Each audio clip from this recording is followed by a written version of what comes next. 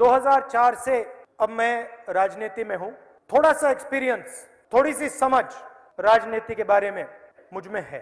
भाई और बहनों, राजनीतिक नेता 10-15 दिन में पैदा नहीं होता है। राजनीतिक जो नेता होता है, जो सच्चा नेता होता है, वो मीडिया के टेलीविज़न पर डिबेट्स में नहीं तैयार होता है।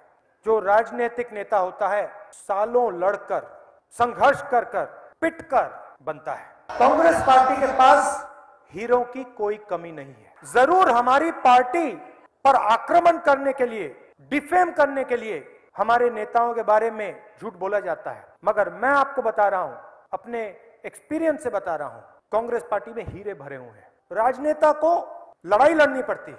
बहुत सारे राजनेता अपनी लड़ाई लड़ते हैं। हमारे प्रधानमंत्री जी हैं, लड़ाई लड़ते हैं, ज़बरदस्त लड़ते हैं, मगर नरेंद्र मोदी की लड़ाई लड़ते हैं। नवजोत सिंह सिद्धू जी को पहचाना।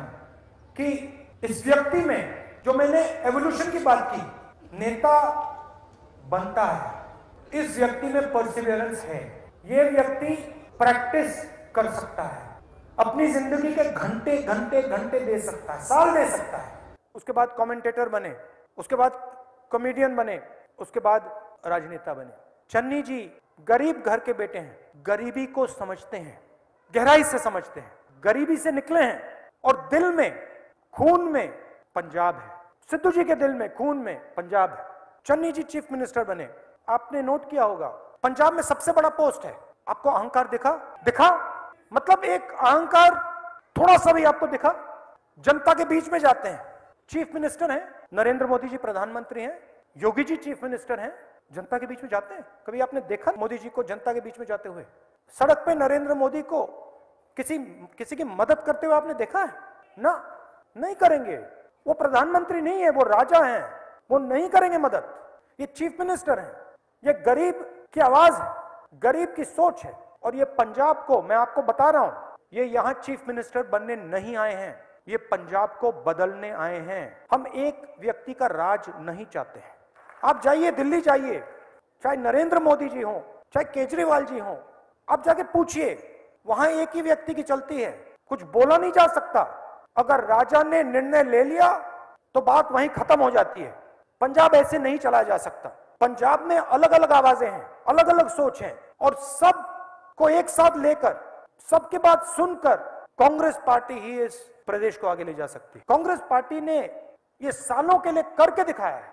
सबको हम एक साथ लेते हैं, नया विजन देते हैं। पंजाब को एक नया रास्ता दिखाते हैं। एक बार नहीं, अनेक बार हमने किया है। तो यह फ़र्क है हम और उनमें। आपने कहा कि मुख्यमंत्री का निर्णय लेना है। देखिए, ये पंजाब का निर्णय है। ये राहुल गांधी का निर्णय नहीं है। आपने मुझे कहा कि आप डिसाइड कीजिए। मैं आपको स्टेट से बता देता हूँ कि मैंने डिसाइड नहीं किया। मैंने क्या किया? मैंने पंजाब के लोगों से पूछा। मैंने हमारे कैंडिडेट से पूछा। मैंने अपने कार्यकर्ताओं से पूछा। मैंने युवाओं से पूछा। मैंने वर्किंग कमेटी के लोगों से पूछा। और जो जवाब उन्होंने मुझे दिया जो पंजाब ने कहा, वो निर्णय मैं आज आपको बताने जा रहा हूँ। और मेरा काम आपकी आवाज़ को सुनना, आपकी आवाज़ को समझने का है। मेरा ज़रूर उसमें ओपिनियन हो सकता है, मगर आपका ओपिनियन पंजाब का ओपिनियन पंजाब के जनता का ओपिनियन मेरी ओपिनियन से ज़्यादा ज़रूरी है। पंजाब के लोगों ने कहा, हमें गरीब घर का चीफ मिनिस्टर चाहिए। हमें वो व्यक्ति चाहिए जो गरीबी को समझे जो भूख को समझे जो गरीब व्यक्तियों के दिल में घबराहट होती है वो उसे समझे क्योंकि पंजाब को उस व्यक्ति की ज़रूरत है। मुश्किल डिसीज़न था। आपने आसान बना दिया। पंजाब के chief ministerial candidate Charanjit Singh Channi ji.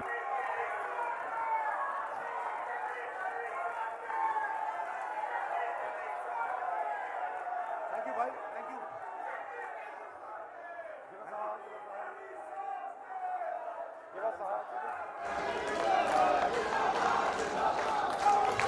ये मैंने बात की हीरो की। अब ये सब पूरी की पूरी कांग्रेस पार्टी एक साथ मिलकर जो हमारा विजन है, पंजाब को बदलने का विजन, उस विजन को पूरा करेगी।